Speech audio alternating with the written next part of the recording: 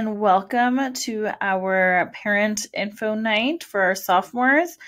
Um, we will be going over a lot of really good information today about um, sophomore year and why it's important and how you can support your child to stay on the right track. So let's jump right into that. So, um, you know, my name is Rebecca Alcaraz. I'm the ninth and 10th grade counselor. And we will be going over some common problems today, A through G, what that is and why it's important. We'll be going over sophomore year, PSAT testing, um, college and career prep, and um, I hope to answer all your questions. But if not, you can always call me or send me an email, and I will, um, you know, look for the correct answer for you in that way. So, a little bit about me. I, re- I moved from New York City, but I grew up in Truckee, California. Um, I have two masters. I have one in school counseling and one in psychological counseling from Teachers College. This is my fifth year in school counseling, counseling, so that's super exciting. And I love to travel and hope to start traveling soon. Um, I also enjoy participating in Spartan races and hope to complete the race in Tahoe one year. So, if you need to get a hold of me, appointments are super helpful. They do help streamline the process. Um, you can book an appointment via our website online through the North Tahoe High School website.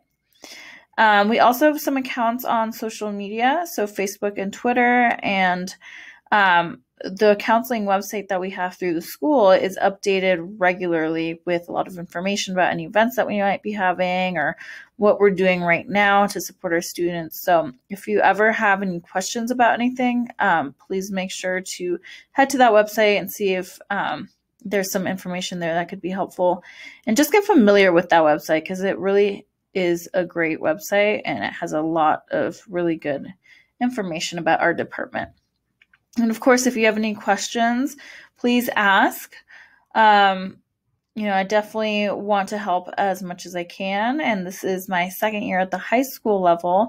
So I'll be learning as well. Um, but yeah, if you have any questions, do not hesitate to ask.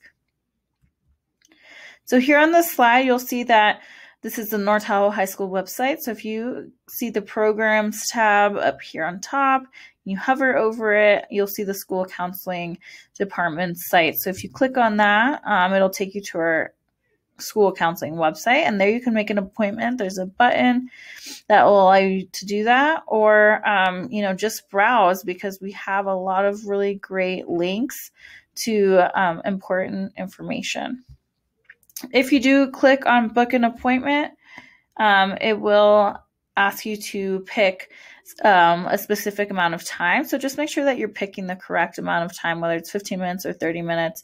That way we um, are able to answer all your questions thoroughly. So um, Hillary has a video, but um, it's not working, so I won't be playing it now. But it is on our YouTube channel if you're interested in watching it. It's a really quick video. Um, she's our Wellness Center liaison, and she focuses on working with our students specifically in the social emotional realm. She is a great resource for everyone. So the Wellness Center is there for all students if they need a break from class, or if they need to vent, or if they have something on their mind that they need to talk about. Um, they can go to the Wellness Center. Of course, you have my office as well, but she is just another great resource in our building. So, counselor student parent relationship. So, parents, parent norms.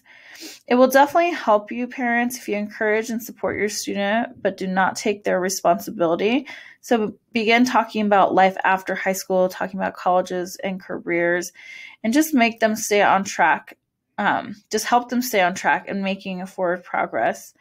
Um, especially as a sophomore, it's really important that they really start to practice those healthy habits and being independent and um, just having more ownership of themselves, their schedule, um, their time management, etc students it will really help you if you start thinking about future college college and job choices right now i know it can feel a bit early but time really does fly and it's important to at least have some type of goal in mind Um, start keeping a calendar and developing an organization system. Pay attention to deadlines and create good relationships with teachers. So all those things are really important when thinking about your student, your role as a student, and um, just creating those strong and positive relationships with admin and other teachers. So some common problems that actually let me go back one slide. So um, here is a picture of the teenage brain. So it's just a reminder that our brains are highly complex and highly plastic amazing feats of nature it just doesn't always feel like it right so you can see that the average teenage brain just has a lot going on at one time um, and a, a lot of these um, what you see in the picture here are part of teenage life right so like for example, love. Um, there's also a rebellion center that you see here, creativity gland, um, TV storage. So it just kind of shows how there is so much happening in a teenage brain. Um, so we need to be a bit understanding about that and just give them grace. And because there's so much happening in the brain, um, we do find some common problems. So, sophomores will typically believe that they are old enough to make their own decisions. And yes, while they are becoming more independent, um, you know, they still need the guide and support of adults. Um, although they do feel like they are old enough to make their own decisions, they typically lack that knowledge. So, just again, be mindful of that, something to think about. Um, they normally will prioritize socializing over academics. Um, they may not see how school is connected to their future, especially thinking in the long term. You know, I think it's really easy to forget that everything that you do um, starting in high school really does affect your future. So, um, students don't always see how it's how school is really tied into their future opportunities. Relying on parents or others to take care of their responsibilities. So that is another common problem.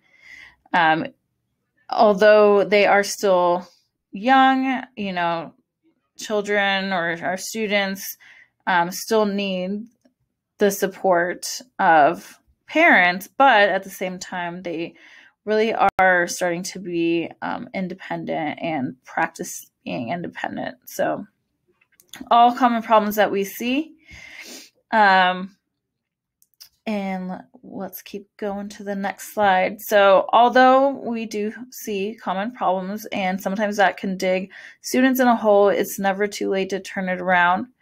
So, um, when I talk about being A through G eligible, it means that students are receiving C minus grades or higher in specific classes, um, which are categorized by by letters. So, for example, A, the category A will be history, and these classes um, are uh, what you need to have completed in order to apply to those four year schools as a senior. So, four year schools, I mean UCs and CSUs. So, if you are someone who wants to plan out your A through G or college opportunities, you can always talk to me. Um, if you ever received an F in a class, that means you did not receive those credits, so you are now deficient. So that is something that we need to talk about. Or if you received a D in any class, then that means that you are not eligible to apply to those UCs and CSUs as a senior. So then we do offer opportunities to help you remediate that grade. So please come see me if you have any questions.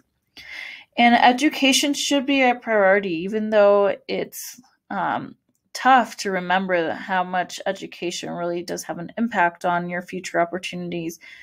Just at least try to make it a priority um, above um, being social or you know whatever it may be. Even with sports, you know, time management is hard, but um, making it a priority will making school a priority makes everything a bit easier.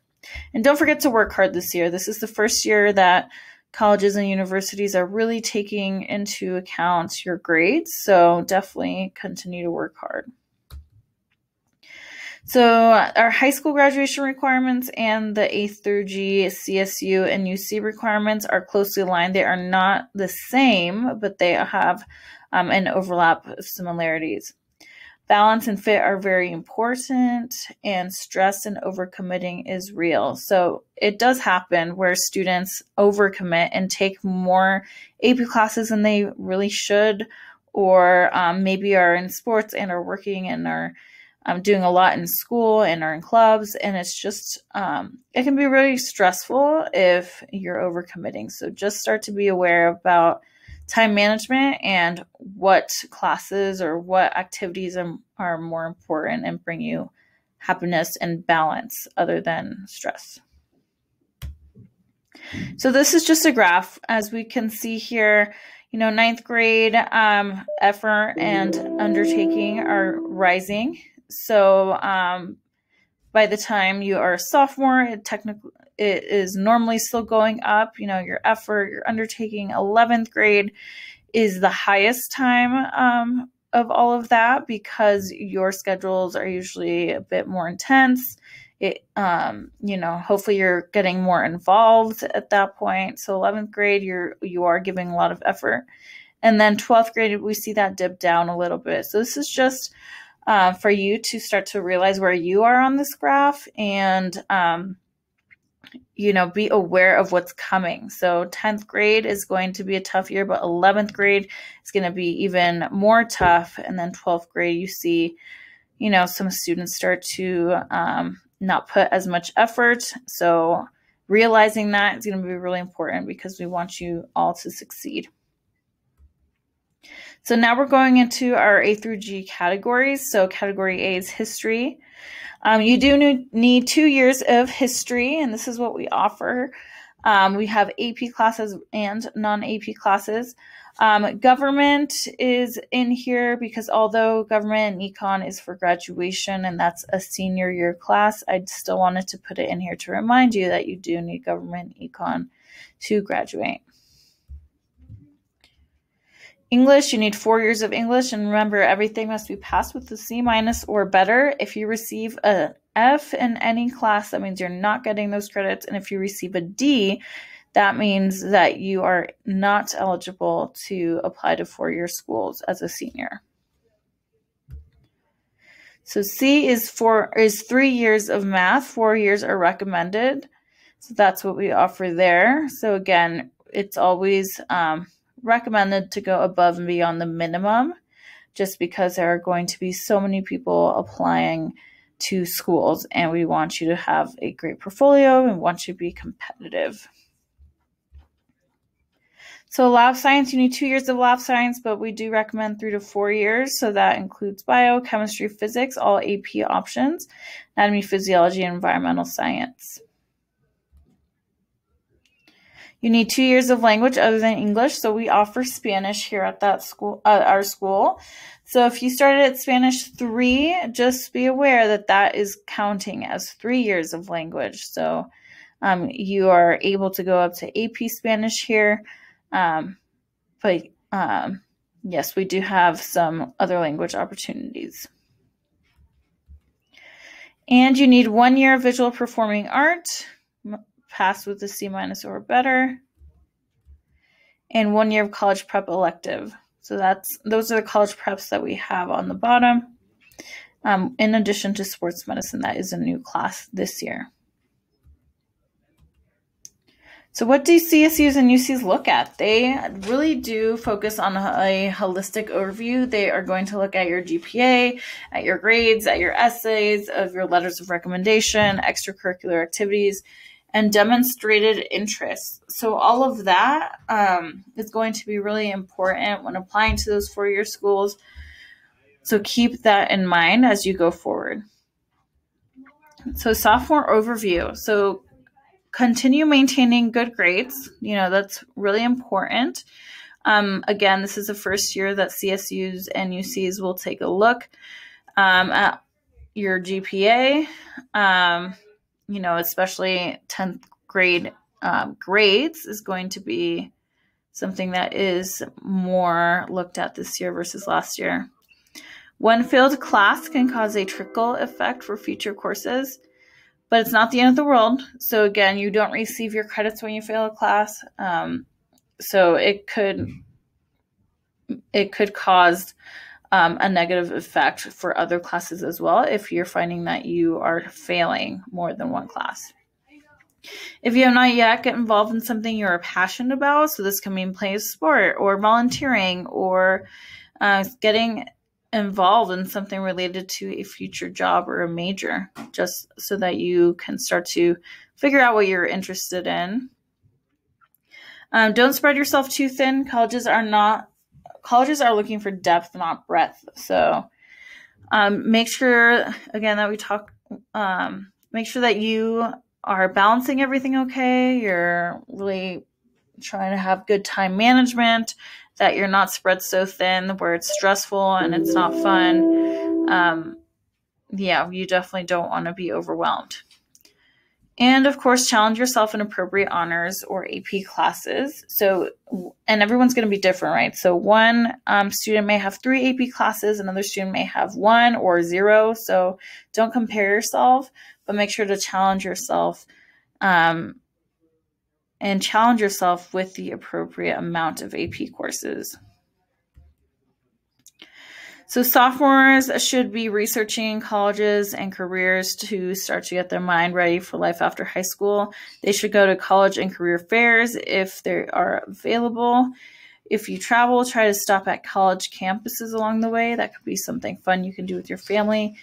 Or sta- start a planner or a binder for college and career information and update that regularly.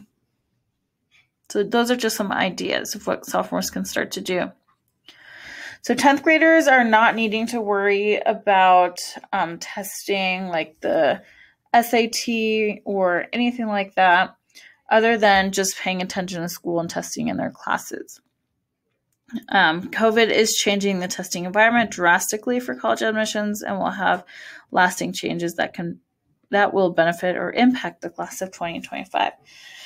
So, um, yeah, I mean, testing really did change um, due to COVID. So a lot of uh, universities, CSUs, UCs, they are test blind. So they do not require the test for admissions anymore. Um, so again, keep that in mind. If you do decide to take the PSAT, which is a practice SAT test, um, then make sure to sign up at the beginning of the year because the registration does close um, you know, that deadline comes up quickly. It is closed as of now. So, um, if they did not, if your student wanted to take the PSAT and they didn't get a chance, they can take it as a junior. And again, I only recommend to take this test if they are really good test takers. Um, at the end of the day, it's an optional test for public colleges um, and their admissions process. So, once you submit a PSAT, uh, sorry, once you submit an SAT um, score, co- colleges cannot unsee it. So, um, PSAT is a really good opportunity to see how well you will do and if it's worth it. Um, and again, if you're a really great test taker, then I would um, I would give it a shot. But if it's if testing just makes you really anxious or overwhelmed or stressed out, then it might not be a good idea. So AP is a formal curriculum owned by the College Board. AP is advanced placement. 10th graders have a chance to take one to AP courses this year. They are accelerated courses. Um, they are accelerated courses the end in an option, they'll encourage capstone exam in May. So again, um, an AP exam is optional, but it is encouraged, especially if you're doing really well in the class or you're a good test taker. And then we have more AP classes in the 11th and 12th grade as well.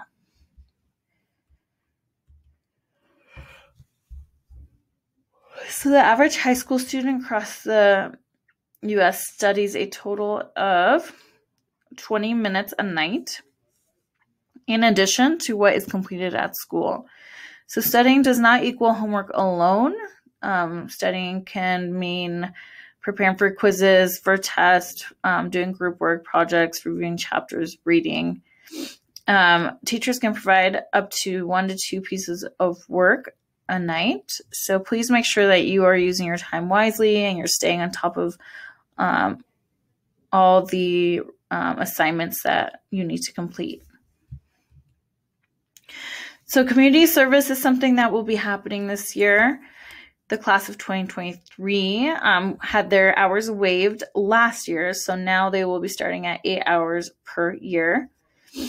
You must meet the minimum yearly amounts. Parts of Pathways grade will, it'll be part of your Pathways grade. So, um, you must meet the 24 hour total requirement for graduation, but yearly you must meet eight hours a year so that you are passing that class. Your activity must be approved via the form, which is in the front office. And Pathways teacher is the student contact. So student gets approval, logs it in, reports it to the teacher, who then reports it to me. So your Pathways teacher will be your point of contact. And here you can just see that there's a, a picture of a transcript. So I wanted to go over what information you will find in a transcript. So you will find your grades, your attempted credits, your completed credits, total GPA, weighted and non-weighted, academic GPA from 9 to 12 grade, then 10 to 12, then total, again 9 to 12. So a lot of really good information. The credit summary is on the bottom right, and it'll show you what you are missing, what you need to complete. And um, this is what all colleges and universities will see. So, again, um, it's really important to use your resources so that you are um, doing your best in high school. And um, so you're on the right track with graduation, with credits, and, um, you know, GPA. So, again, use RTI, use um, lunch before and after school please communicate with your teachers um, and do not get any D's or F's because that just makes it really complicated. So thank you so much. That was a quick overview of what um, the parent workshop was about. Hopefully it was helpful. If you have any questions, you can call me or um, send me an email or we can set up a time to meet. Thank you again and have a great day.